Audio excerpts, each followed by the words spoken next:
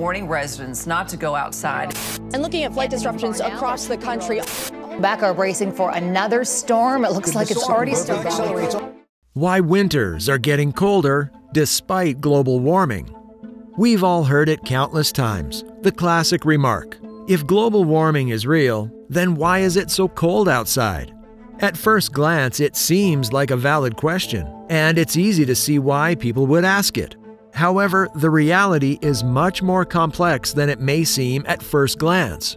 At times, two seemingly contradictory facts can coexist. Such is the case with global warming and its impact on the winter season. Surprisingly, global warming can result in both colder and hotter winters.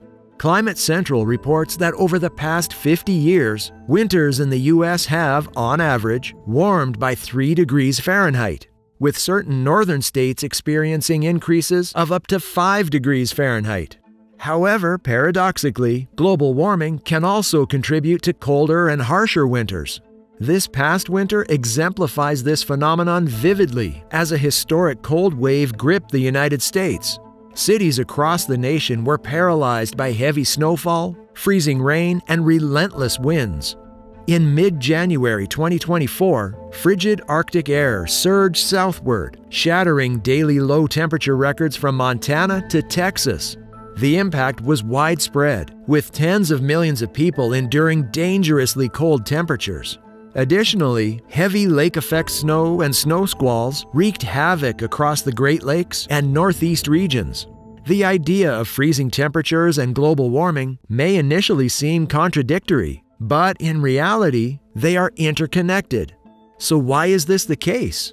To understand, let's explore the intricate relationship between global warming, extreme winter weather, and the enigmatic polar vortex. But before we delve into this complex topic, it's essential to differentiate between weather and climate.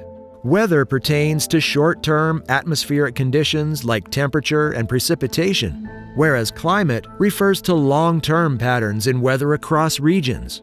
Human activities, particularly the burning of fossil fuels, have played a significant role in altering our planet's climate.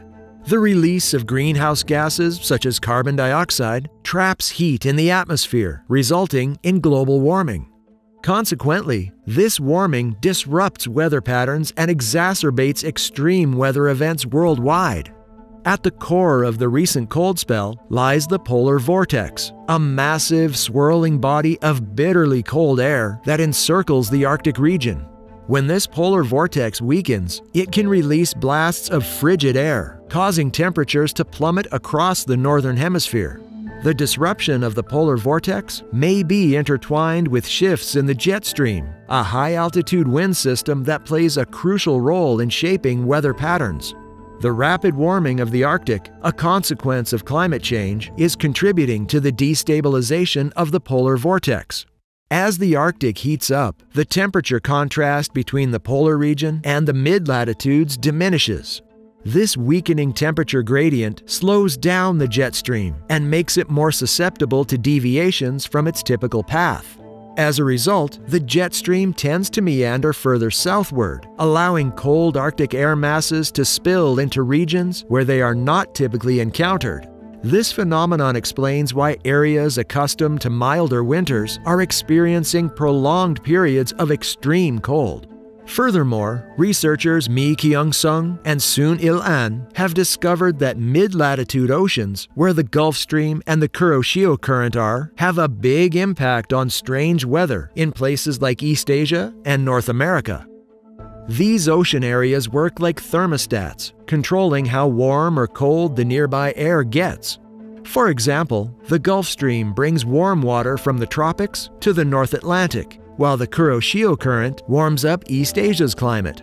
The 2021 Texas power outage, triggered by an unexpected cold snap killing 250 people, highlights the urgent need for accurate climate models to forecast extreme weather events and mitigate their socioeconomic impacts.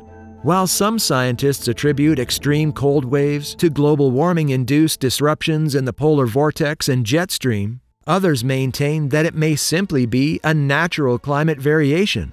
Nevertheless, one thing remains clear extreme winter weather does not negate the reality of climate change.